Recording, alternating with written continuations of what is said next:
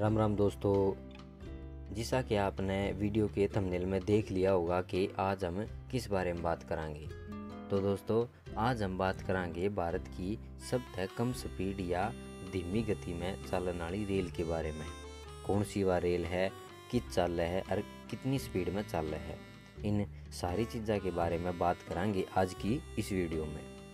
तो दोस्तों, भारत के तमिलनाडु में है भारत की सबसे धीमी चलन वाली रेल, जो तमिलनाडु के मेट्टू पालियम ऊटी तय चल है, जिसका नाम है नीलगिरी पैसेंजर ट्रेन। यह ट्रेन है दोस्तों, भारत की सबसे धीमी चलन वाली रेल। दोस्तों, यह रेल इतनी धीमी चल है कि इसमें सफ़र करने के बाद आप कई बार नू सोचोगे कि इस ट्रेन तय उतर के अगर हम पैदल चलेंगे तो भी जल्दी पहुँच जाएँगे। इस ट्रेन की मैक्सिमम स्पीड है लगभग 16 किलोमीटर पर आवर और दोस्तों, कई जगह पे तो इस ट्रेन की स्पीड और भी कम हो जा है, लगभग 10 किलोमीटर पर आवर की।